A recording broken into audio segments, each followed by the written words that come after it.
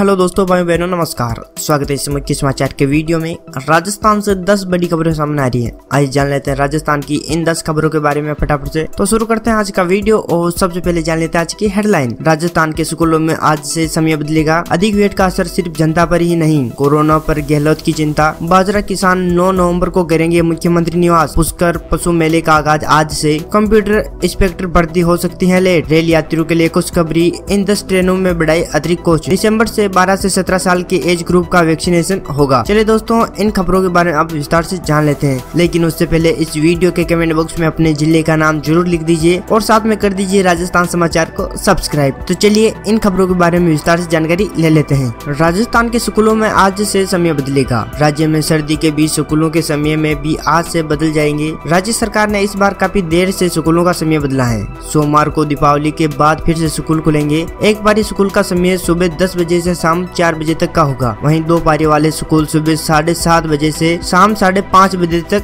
संचालित होंगे। चलिए अगली अपडेट जान लेते हैं। अधिक वेट का असर सिर्फ़ जनता पर ही नहीं। केंद्र सरकार की ओर से एक्साइज ड्यूटी घटाने के बाद गैर कांग्रेस शासित 25 राज्यों ने भी पेट्रोल, डीजल पर वेट घटाकर जनता को अतिरिक्त राहत दी है। अब रविवार कांग्रेस शासित पंजाब ने भी पेट्रोल पर वेट दर दस रूपए और डीजल पर पाँच रूपए प्रति लीटर घटाने की घोषणा की है। इससे वहाँ पेट्रोल की कीमत पचानवे रूपए और डीजल की चौरासी रूपए प्रति लीटर हो गई है। यह उत्तर भारत में सबसे कम है। वहीं राजस्थान सरकार ने वेट घटाने से इनकार कर दिया है। ऐसे में यहाँ अब भी पेट्रोल पर छत्तीस फ़ीसदी और डीजल पर छब्बीस फ़ीसदी वेट वसूला जा रहा है, जो देश में सबसे अधिक है। ऐसे में देश का सबसे महँगा पेट्रोल डीजल भी यही बिक रहा है। श्री गंगानगर में पेट्रोल डीजल की कीमत पंजाब से बीस रूपए अधिक है। यानी प्रदेश में पड़ोसी राज्यों से बीस परसेंट महँगा पेट्रोल डीजल है। यही वजह है की दो साल ऐसी यहाँ डीजल की बिक्री नौ लाख लीटर घट गई है। इसलिए हरियाणा, पंजाब की सीमा से सठ, बारह सौ ऐसी अधिक पेट्रोल पंप बंद होने की कगार पर हैं। चलिए अगली अपडेट जान लेते हैं। कोरोना पर गहलोत की चिंता। राजस्थान भले ही कोरोना केस सबसे कम आ रहे हैं, लेकिन मुख्यमंत्री अशोक गहलोत ने प्रदेश में आगामी दिनों में कोरोना के केस बढ़ने की आशंका जताई है। उन्होंने कोविड प्रोटोकॉल का पालना करने के लिए अपील की है। साथ ही उन्होंने वैक्सीनेशन नहीं करवाने वाले लोगों को जल्द से जल्द वैक्सीनेशन करवाने की लिए मांग की है। पिछले कुछ दिनों में विदेशों में कोरोना का केस अचानक बढ़ने लगे हैं। रूस अमेरिका, यूके, टर्की, यूक्रेन समेत कई देशों में हर रोज पच्चीस हज़ार या उससे ज़्यादा कोरोना के केस मिल रहे हैं। भारत में इन देशों में लोगों का आना जाना शुरू हो गया है। विशेषज्ञों का अनुमान है कि त्योहारों के दौरान हुए आगमन से कोरोना वायरस के मामले बढ़ सकते हैं। इससे बचने के लिए अभी से सभी को कोविड प्रोटोकॉल का सख्ती से पालना करनी होगी। साथ ही टेस्टिंग भी ज़्यादा से ज़्यादा करानी होगी। गहलोत ने कहा है कि यूरोप के देशों में कोरोना के मामले तेज़ी से बढ़ रहे हैं। वहाँ गंभीर अवस्था में पहुँचने अधिकांश मरीज़ वो हैं जिन्होंने वैक्सीनेशन नहीं लगवाई है। इसीलिए उन्होंने लापरवाही बरतने और वैक्सीनेशन नहीं लगवाने को आगाह किया है कि वैक्सीनेशन की दोनों डोज लगवाए और कोविड प्रोटोकॉल का सख्ती से पालना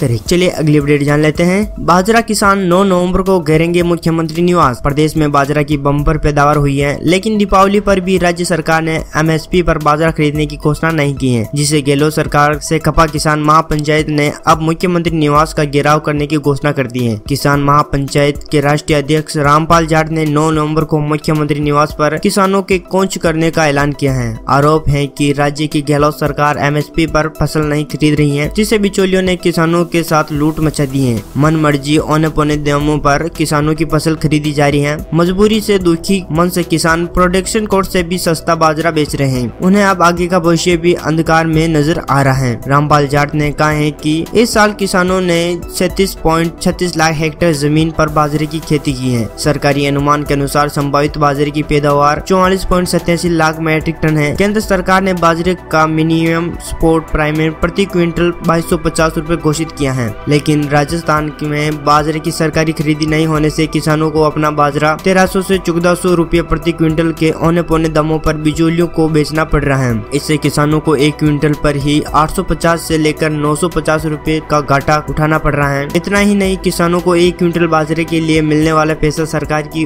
और एस्टिमेट प्रोटेक्शन कॉस्ट पंद्रह सौ पचास रूपए प्रति क्विंटल से भी कम है। यानी किसानों के बाजरे की भी प्रोटेक्शन कॉस्ट भी नहीं मिल पा रही है। चलिए अगली अपडेट जान लेते हैं। पुष्कर पशु मेला का आगाज़ आज से। पुष्कर पशु होट मेला सोमवार से शुरू होगा। मेला शुरू होने से पहले ही पशु और पशुपालकों की आवक शुरू हुई है, जिससे सुने रेतीले दौरे आबाद होने लगे हैं। अब तक मेला मैदान में 150 ऊँट समेत 100 से अधिक जानवर पहुँच गए हैं, तथा इनकी आवक लगातार जारी है। इस वर्ष पुष्कर पशु मेला पुराने मेला मैदान मैदान की जगह मोतीसर रोड स्थित नए मैदान पर भरेगा। मेले की प्रशासनिक स्तर पर तैयारियाँ चल रही हैं। मेला मैदान में आशुशालाएँ व अस्थायी दुकानें सजने लगी हैं। हर साल की तरह इस साल सांस्कृतिक कार्यक्रम व प्रतियोगिताएँ नहीं होगी। साथ ही कोरोना गाइडलाइन की पालना की शर्त भी रहेगी। चलिए अगली अपडेट जान लेते हैं। कंप्यूटर इंस्पेक्टर भर्ती हो सकती है लेट। राजस्थान सरकार ने प्रदेश में दस हज़ार एक सौ सत्तावन कंप्यूटर इंस्पेक्टर भर्ती करने की घोषणा की थी। अक्टूबर में सरकार ने भर्ती परीक्षा का सिलेबस भी जारी कर दिया है। अब तक सरकार ने भर्ती परीक्षा में शामिल होने वाले अभ्यर्थियों की शैक्षणिक योग्यता को लेकर कोई गाइडलाइन जारी नहीं की है। छात्रों के साथ राजस्थान कर्मचारी चयन बोर्ड की ओर से के आदेश का इंतज़ार कर रहे हैं। जैसा ही कोई न्यू अपडेट आई, मैं आपको वीडियो बनाकर जानकारी दे दूँगा। आप कर लीजिए राजस्थान समाचार को सब्सक्राइब तो चलिए अगली अपडेट जान लेते हैं। रेल यात्रियों के लिए खुशखबरी। इन दस ट्रेनों में बढ़ाए जाएँगे अतिरिक्त कोच। भारतीय रेलवे की ओर से त्योहारों पर यात्रियों को सुविधा देने की कवायद जारी है। त्योहार पर घर गए यात्रियों को अब लौटने का सिलसिला फिर से शुरू हुआ है। छठ पूजा के लिए कई यात्री बिहार और पूर्वांचल